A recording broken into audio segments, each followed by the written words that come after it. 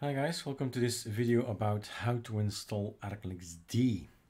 The ArcoLinux D ISO is one that's super interesting because it has all the possibilities, but it's not for the beginners, right? There is a, some kind of uh, learning path that we recommend and that's way back in, in phase six or seven. So the installation of ISOs, of ArcoLinux, 30 ISOs we have now, is documented in the link installation. That's the ArcoLinux D. There is also the ArcoLinux ISO, and that's documented in here, installation. So two videos, one for the XL, the XS, XS, LTS, and one for ArcoLinux and all the Bs basically, and one for D. Specifically D because it is really, well, it's a different way of thinking, I think a different way of, of doing things. It's either you do nothing, you select nothing in Calamares, or you start selecting and choosing. But for selecting and choosing, that requires knowledge, experience, what to select, what not to select. So that's always a matter of knowledge. So this is the video that we're gonna make and we're gonna replace it with the new ISO that's coming pretty soon now ArcoLinux version 220109. When we boot this up, we got selections. Nothing has changed with previous videos, but we're using this information to change our Calamares later on. If you choose open source, that really means drivers not coming from a company. They call it non-proprietary drivers. So open source is uh, containing Intel, AMD and NVIDIA open source. And this line, we are having all the open source except, except the one for the Nouveau drivers, which equals the open source NVIDIA drivers. So we get rid of that. The idea is there that we use um, this possibility because we've got feedback of users, we need that to be gone.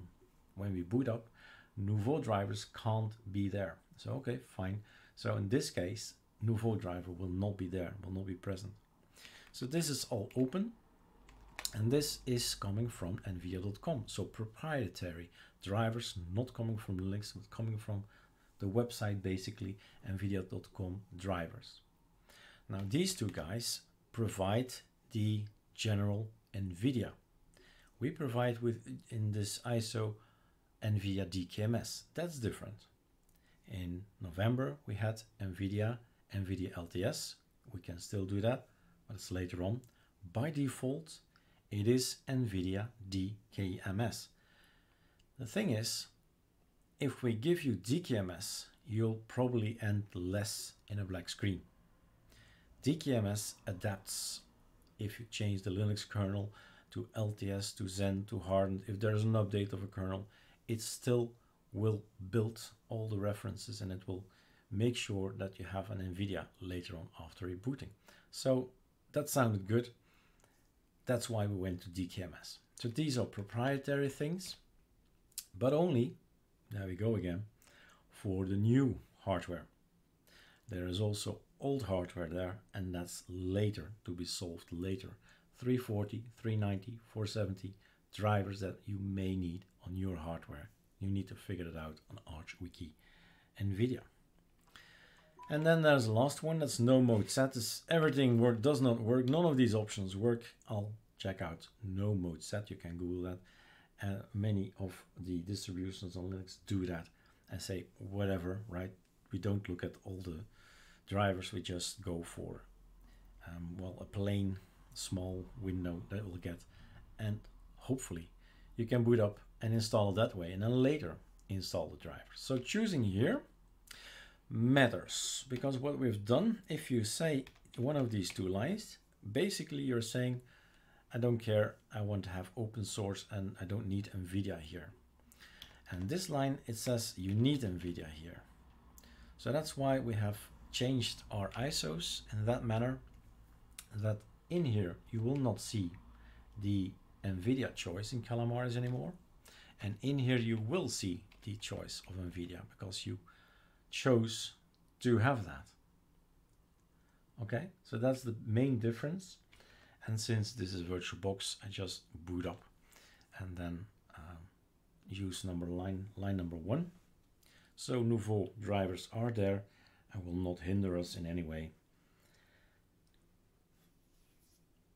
And we'll boot up.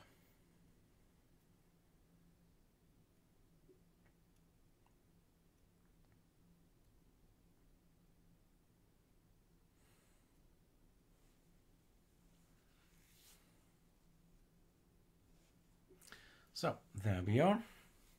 Now this ArcoLinux thing is a bit specific in the sense that I like the idea we had in the past with Antergos base. Antergos base gives you a black screen. Some people like an empty slate. Like on Lego, you have this red slate on the ground and you start building up. That's basically it.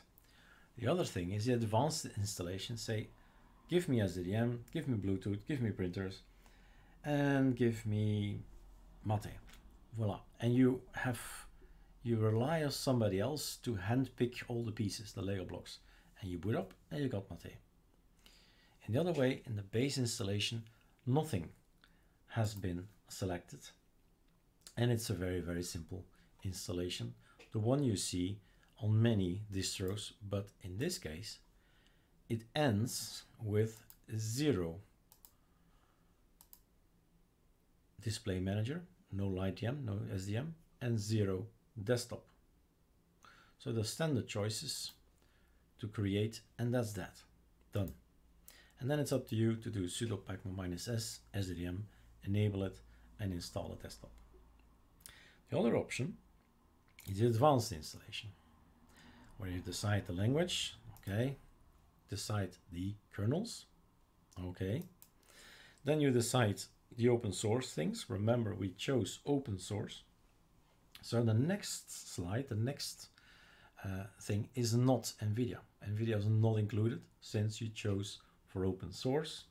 Then we don't go for the NVIDIA proprietary drivers. So that's not available, not here and the rest goes in here Bluetooth and all the rest you know the drill you have a new um, display manager or login manager choose any of the 25 desktops you want to have and then all the applications we provide you can be selected here we've made beautiful arc themes and uh, more wallpapers and so on you can select them in this case ArcoLinux D, right? It's meant to be super, super based, super, super minimal. So you need really need to have internet. That's one thing. If you don't have internet, ha, nothing will be downloaded. This is not on the ISO. So this is not a I'm sit on the beach and I'll install this thing. No.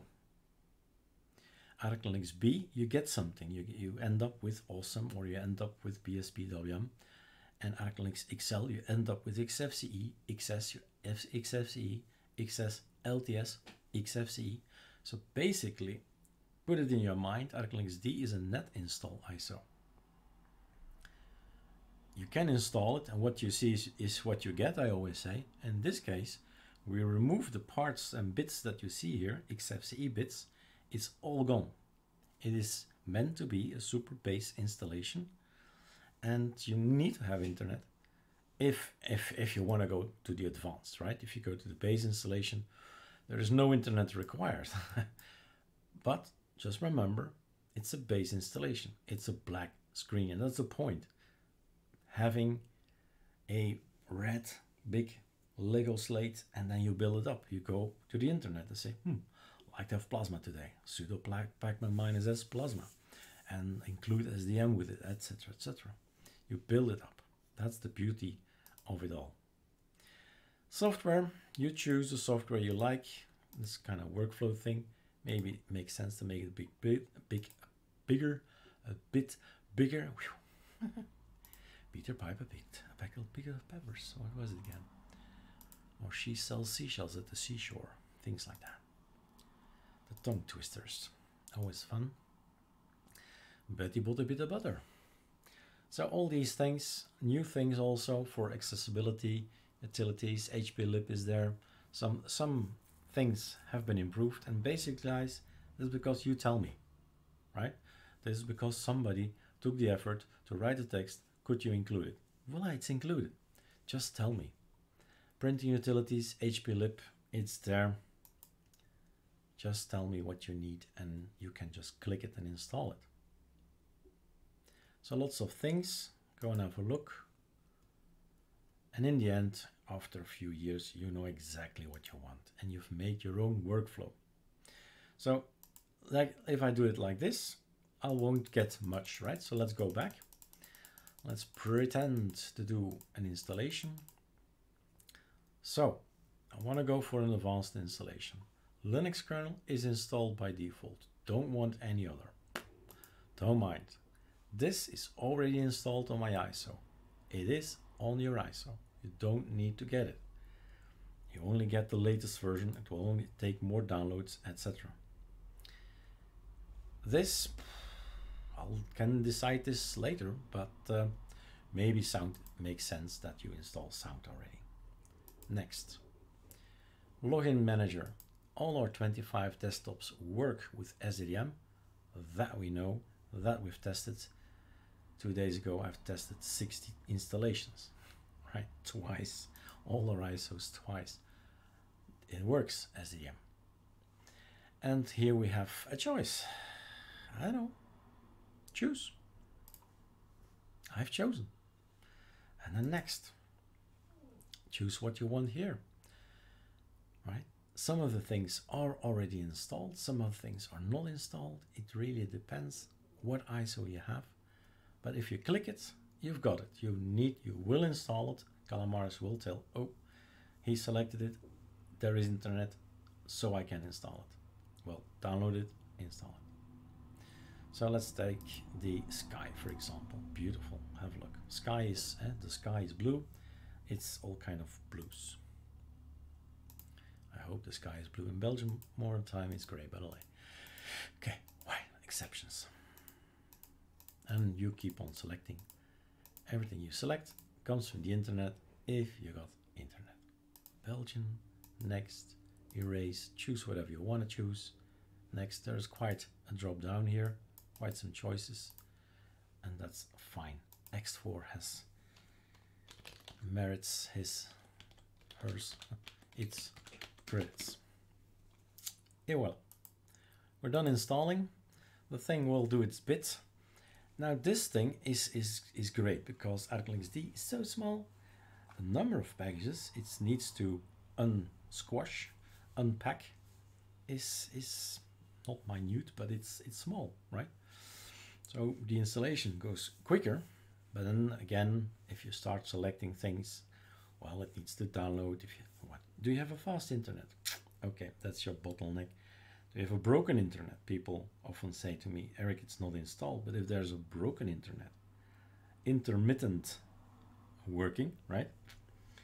Sometimes it works, sometimes it doesn't.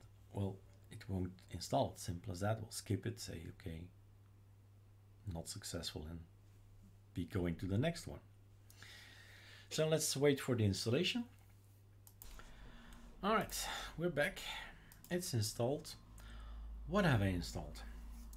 One of the things that's also new is that we've automatically activated SDDM, GDM, LightDM, LXDM, or Ly. So when I boot up, I got this nice grub, and then it kicks in. The display manager is there. We've done a auto login. So voila, we're on i3, Control T, Welcome on i3 ISO. That's the ISO we used and that will never change. We started with that and we keep on rolling. We keep on updating. Let's see if Arch Linux is already there with some updates, right? That's live. And then we say yes, you update everything. Super X. To have a look what we've selected. That's actually also new, the Broadcom WL it's a DKMS version. So whatever kernel you're using it's gonna be working.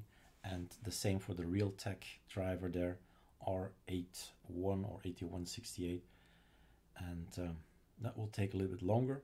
So, what I do is, I don't have Broadcom WM, WL, and I don't have the other one. I just say sudo pacman minus R by, and I remove them after a clean install. But they're there, of course, to help other people get to the wireless and get to to to to be connected to the world, basically.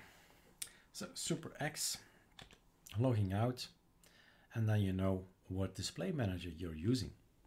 And here you see it's just the one thing that we've installed because why not combine it with also more BSPWM, more XFCE and have a fallback, right? Something desktop like and something tiling window manager like is maybe better to get to know uh, your system gradually and can always fall back um, to to XFC. For, this, for instance, a tip guys, Qtile, Qtile and Xmonad both needs to be compiled to be built.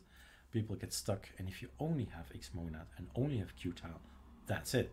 You're in, the TTY, it's all black. If you have XFCE, you can go there and go open the folders and the files in Sublime Text and Meld, and you can work until Xmonad works again or Qtile works again, and then you boot back into it. Just a tip. All right, enjoy ArcoLinux D.